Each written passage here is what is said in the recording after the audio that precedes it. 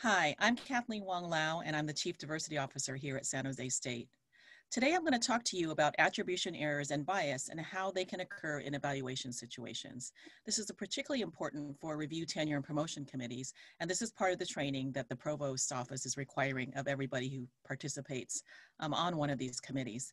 And so we're going to start by um, going over some um, very research-based and uh, you know theories about how we commit attribution errors um, as well as bias and some of the implications and really some of the um, outcomes that occur um, when we commit these types of errors. And so now I'm now going to screen share and go to um, our slides so that we can uh, talk a little bit more about these. So if you just bear with me for a minute. Okay. So um, one of the, the major ways in which we commit um, attribution errors, so we often hear about bias, um, are uh, fundamental attribution errors. So some of you may have heard of this before if you've studied social psychology or psychology. And this is how we attribute the cause for um, whether somebody is successful or not successful. So this is how it goes, right? So if the self does something good, um, you know, it's considered a trait that is, uh, you know, that that is why you have done well. Um, and if someone has done something bad, we uh, more likely for ourselves can, uh, you know, we, will say that is because of the situation. And we do the opposite for others. So picture this: you're, you know, you're a child, you're running across, um, you know, a room, a living room, there's a vase that's placed on an end table that's kind of close to the edge. You knock it down. Um, and the first thing you say is, you know, oh, who, you know, who put that vase there, right? So you're making uh, you're attributing the situation to your uh, committing an error of knocking down that vase and breaking it.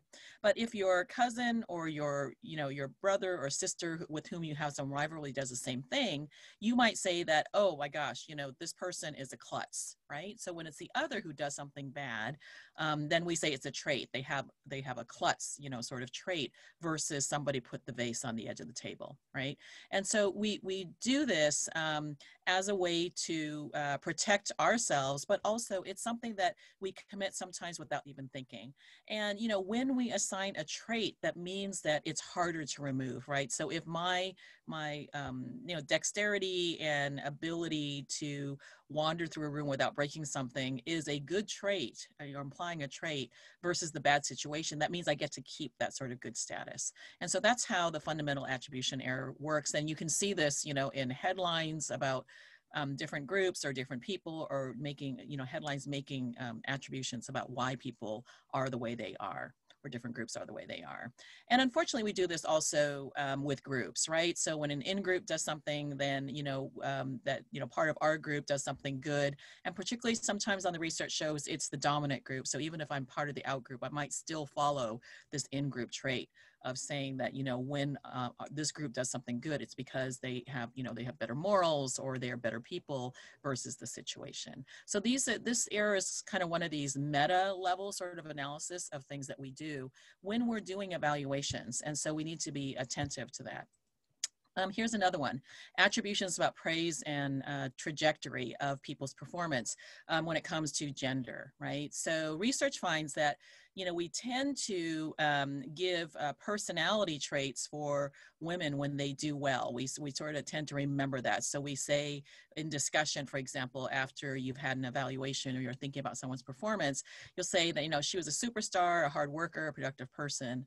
Um, and then for men, we tend to say, well, he's a superstar, but he has numerous uh, publications and is a productive scholar. We might even name some of the things that they have done.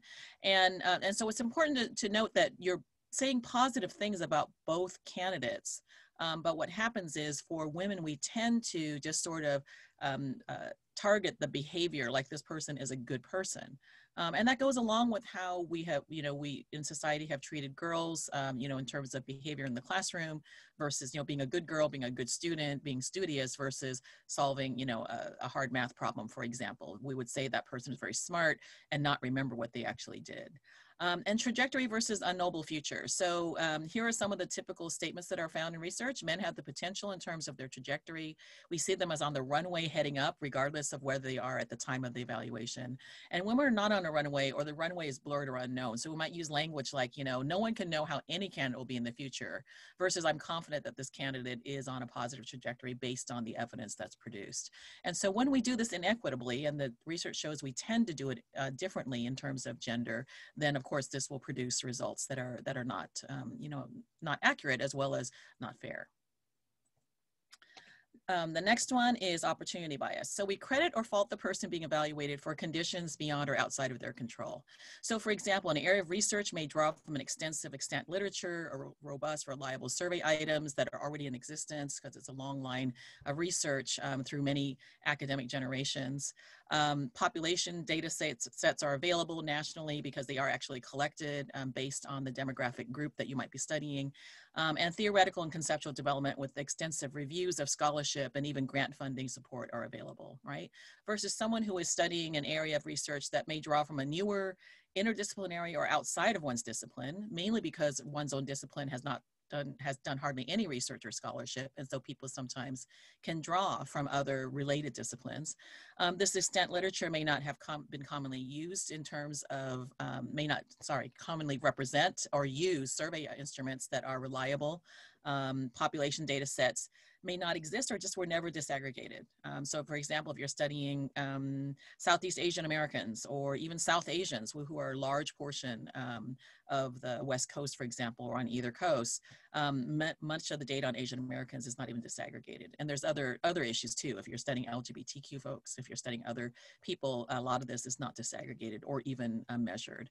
And very little has been written about how it may apply to one's underrepresented research when there is something available.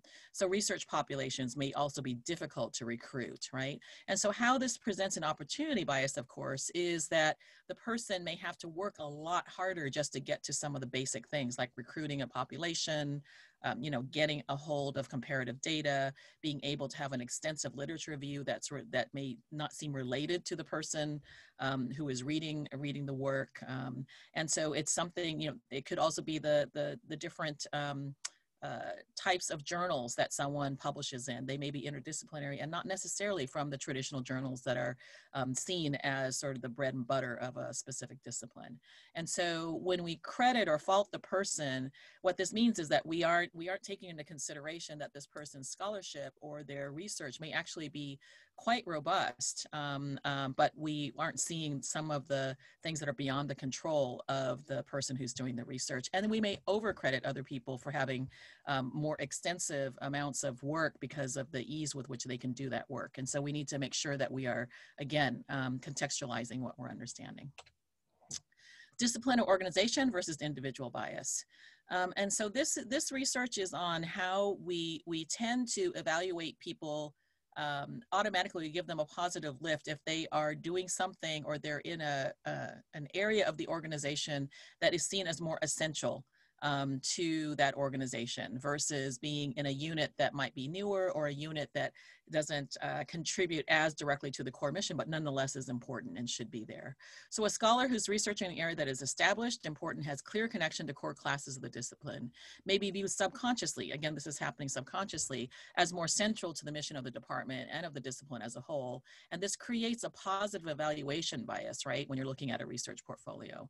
A scholar who is researching an area that is considered minor or only important in special topics courses or only to a specific population and not, uh, and not core courses, even though this might be uh, a judgment and error, um, because sometimes uh, some of their uh, more minor areas of interest are actually what will diversify and decolonize and, and um, you know, add um, to core courses. They may be viewed subconsciously as less central to the mission of the department and of the discipline. So this creates a negative bias when evaluating a research portfolio. Again, this is happening at the subconscious level. So what happens is you get this cognitive nudge to, of a bias towards if we're looking at um, you know sort of like this this balance right it just gives you a little bit of a, a, nudge so that you it's a little more positive or a little bit more negative even before you start evaluating the materials and that's the difficulty of bias that it can occur um, at the subconscious level and it's and it's minor but it's enough to get you started down the road to have a positive or a negative evaluation more valence or uh, positive or negative evaluation down the road as you're re reviewing materials. And again the research shows this right in terms of how people evaluate. Um, Similarity bias. Um, this one you might be more familiar with. You may have heard of before. We give higher ratings to people we identify with and understand. So I tend to understand the shortcomings that may be situationally related to someone that I think is similar to me, right? I tend to understand the accomplishments and the ways that I might understand my own. We may even think when I was coming through my tenure review, review I had less and admired this candidate for having more. Like, wow, this is really a great candidate. Um, we give lower ratings to people we don't identify with and we are less understanding. So I tend not to understand shortcomings that may be situationally related. I also tend to understand my accomplishments in ways that might threaten my own understanding of my accomplishments when I go th- when I went through tenure. So instead of saying, "Wow, this is really great. I didn't even have half of this stuff when I was going through tenure." We might feel that, you know, wow, I bet this person got the breaks or, you know, it's because this person is studying feminist literature and you know I, I might feel threatened and i don't recognize it. And so that similarity bias is actually quite powerful um, and we can convince ourselves that it's not there because again it's happening at the unconscious level. And again we need to be aware.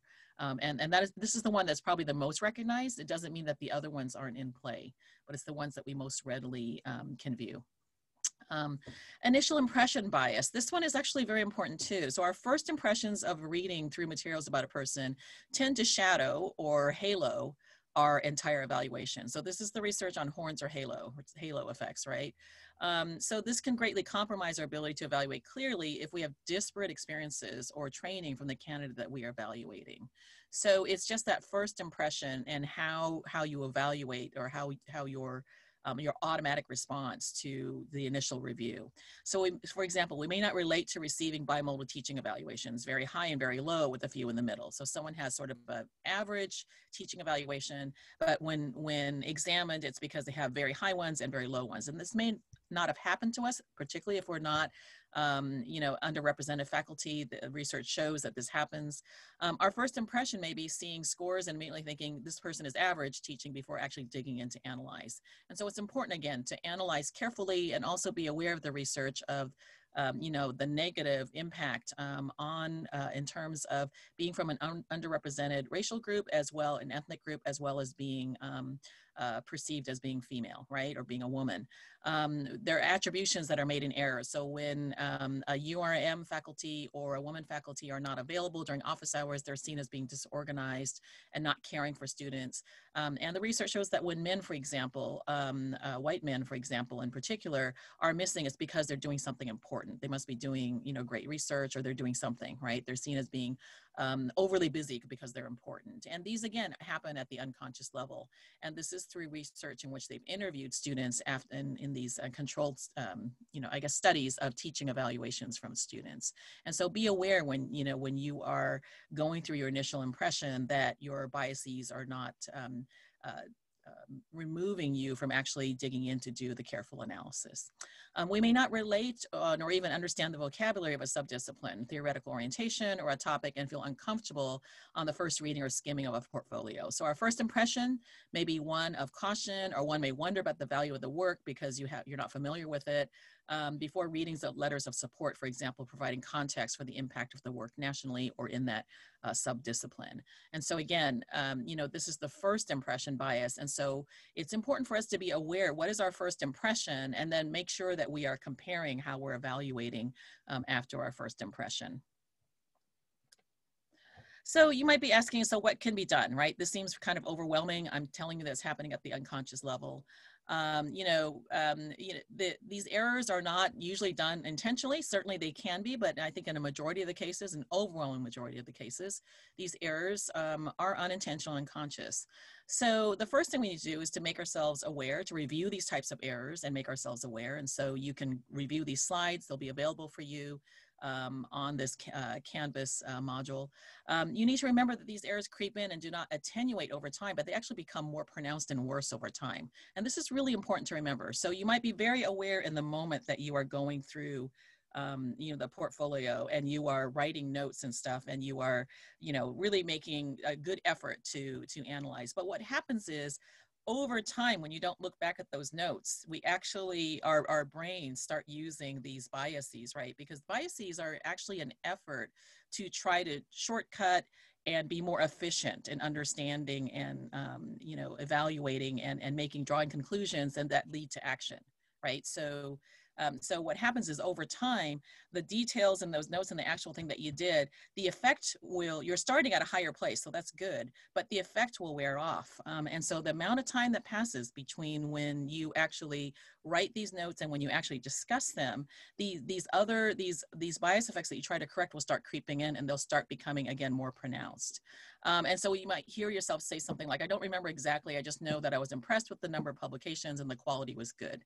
Now that sounds like a good, precise, you know, statement, but it actually isn't, right? And so especially when you're gonna be comparing um, you know, to others who are, who may be who may have either different opinions or different um, uh, interpretations of what this person's record is. And so, um, you know, so it's important to do these things in a timely manner, but also to review your notes carefully um, and and make sure that you are paying attention to those notes and actual details to eliminate um, the process of this, um, you know, this this effect of it becoming more pronounced, these biases over time. Um, and here are things that we can do. There's a lot of research on slowing down thinking. And so what slowing down thinking means that you're using rubrics, you're using notes, you are, you are doing things at the meta communication level. So you're facilitating discussion in a way that slows down people's abilities to go back to these schemas and these biases at an unconscious level. So you use carefully constructed rubrics, make sure everyone's using the same one, make sure there's enough detail in them so that people can write adequate notes asking for evidence so that you can write some of that evidence in so that it will again cognitively prompt you at the time of discussion and when you're making that final analysis. Take good notes, of course. Read your notes and make meta-analysis notes after reviewing, making sure that you link that meta-analysis to specific items of performance. So um, you want to, again, make sure that your notes are careful, um, and that you are, you know, checking for some of these uh, some of these biases.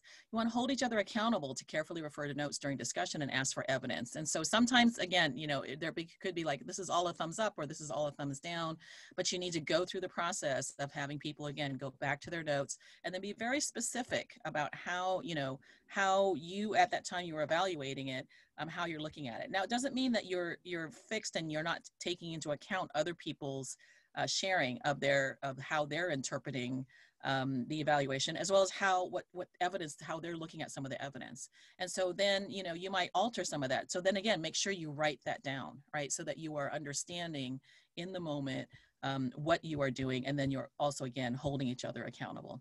Give time for committee members to follow the argument or specific case made to track to their notes also. So, you know, it's, it's totally, it's important to say things like, everybody take out their notes on this, this specific thing. Does anyone have notes on this? Right? So, oh, I forgot about this um, aspect of this portfolio. Does anyone have notes? Maybe we need to break everything out and look at it again right? So be be be willing um, to entertain other people's perspectives, but also the, um, the ability for everyone to track and then also look at it again. Um, consciously facilitate facilitate equitable discussions and comparisons. Make sure that it's not the loudest, most extroverted, or most highly ranked person, or most willing to interrupt others who evaluate whose evaluative comments and notes are heard. This is really important. This is probably the number one complaint that comes into my office regarding um, maybe my number one, it's probably shared number one with other ones, um, uh, of, of being um, in a committee where they felt like, um, you know, it was a done deal. And so the most, you know, the most uh, extroverted people spoke, kind of threw it out there as a done deal. So that being, saying something like this is a done deal or this is clear or obviously using these kind of words actually um, create a bias, um, you know, uh, uh, what is that? What we say a floor for bias, right? So, so you're saying that the floor of discussion starts here, right? And so anyone else who feels otherwise is going to have to rhetorically enter to, to in order to say that. So try not to create bias floors for discussion by doing that. Um, and that's this is important because you know it's it's poor leadership actually to do that. Um, recognize when you are out of your area of expertise and acknowledge it, right? And so if I'm I'm um, if there are areas of someone's portfolio that I feel like, you know, I am totally out of my depth to evaluate, but this is what I can evaluate. And you can ask other people questions, right? Not in an interrogating way, but to inform you if they are more expertise in that area. And so it's important to search again for other types of, um, of evaluation if you are actually not an expert in it. So it could be in those letters that come from other nationally known um, people who are doing work in that similar area.